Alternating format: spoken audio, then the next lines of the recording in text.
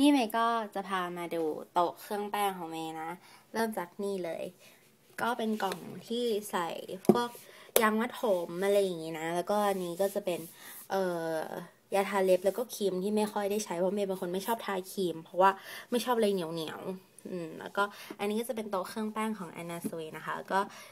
ชั้นแรกก็จะแบบว่าใส่แปรงแล้วก็ชั้นที่สองก็จะมีอายแชโดว์แล้วก็บัชออนแล้วก็ ชั้นสุดท้ายก็จะเป็นลิปสติกนะ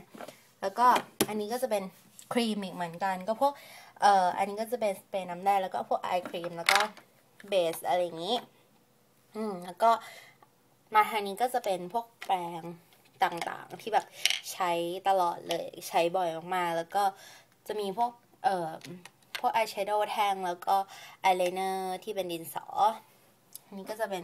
cotton bud แล้วก็อันนี้ครีมที่ไม่ได้ใช้อีกเหมือนกัน เปิดออกมาก็จะเป็นอายแชโดว์สีที่ใช้ประจำก็คือจะแยกออกมาอยู่ในนี้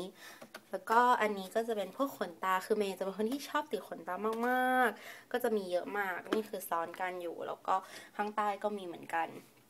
แล้วก็ลิปสติกที่ เออไม่ค่อยได้ใช้ก็คือที่ใช้เป็นประจำก็จะอยู่ในกระเป๋าอีกแยกออกไปอีก แต่ว่าอันนี้ก็จะเป็นสีที่ชอบแล้วก็ซื้อมาเก็บไว้ ก็จะมีลิปกลอสด้วยแล้วก็ อันนี้ก็พวกบัชออนแล้วก็เฉดแล้วก็มีขนตาล่างอืมแล้วก็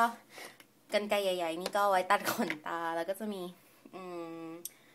แบบพวกครีมพวกคอนซีลเลอร์อีก เนี่ยค่ะตัวเครื่องแป้งของเมย์